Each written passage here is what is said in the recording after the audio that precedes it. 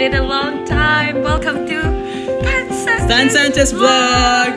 Hindi na siya Jorix Vlog kasi big boy na siya. Oh, may baby na kami. Yes, kasama na siya sa aming vlogs ngayon, guys. Yes, so we are here in Paradise Garden, Resort, here in Boracay! To celebrate my husband's birthday tomorrow. Yes, the most awaited. So, we just want to share with you guys itong Paradise Garden Resort, yung room namin. We are very happy and satisfied dun sa nakuha namin sa Agoda.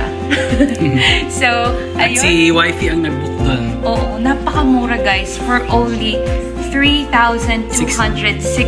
Yes, sobrang- Three days, two nights. Imagine, in Boracay, makakahanap ka ng ganito kaganda. Eh, usual dito guys, ang mga hotel, 5k per day. Yes, so, let's start! Let's go, let's... What are you waiting for? Let's go Let's around, guys! Let's go! Okay ka na?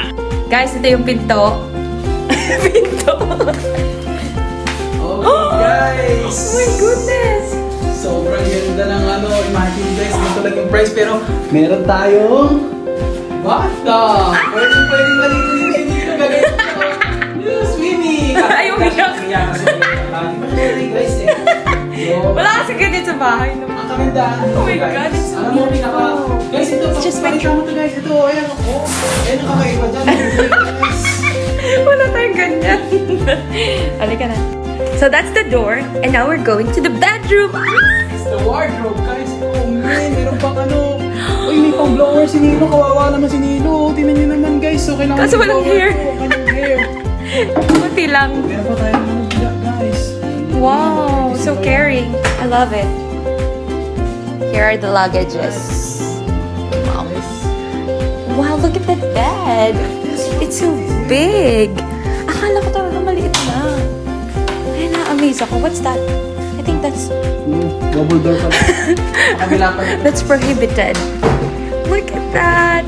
Hello. Here's the television. Ang laki ng baka, guys.